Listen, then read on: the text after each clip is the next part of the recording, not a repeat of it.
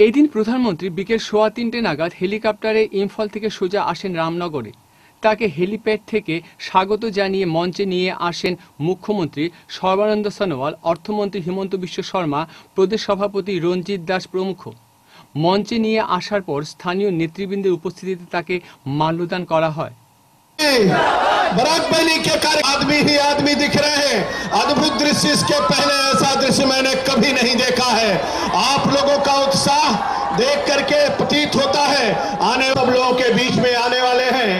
और आप सब लोगों का उत्साह देख करके लग रहा है। वैसे तो कुंभ प्रयाग में 15 जनवरी से लगेगा, लेकिन आज ही सिलचर की धरती पे कुंभ जैसा दृश्य नज़र आ रहा है। अद्भुत दृश्य नज़र आ रहा है।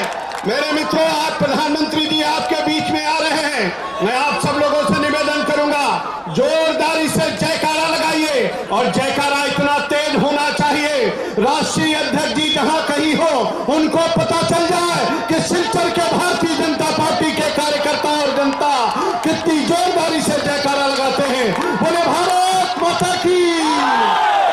दोनों हाथ की मुस्का बाँध करके लगाइए। पंजा नहीं दिखाना है। पंजा ने कर दिया भारत को गंजा। मेरे मित्रों की भूमिका में आना है।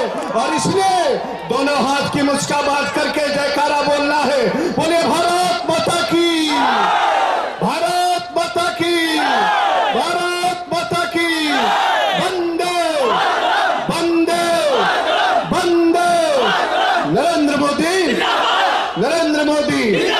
नरेंद्र मोदी। अमित शाह